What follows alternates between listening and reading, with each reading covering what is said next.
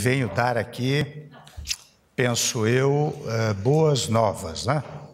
Vocês sabem que a economia brasileira uh, volta a crescer. E os sinais desse fato são cada, cada dia mais claros, né? Uh, em fevereiro, por exemplo, o número de empregos uh, formais foi de 35.612 vagas.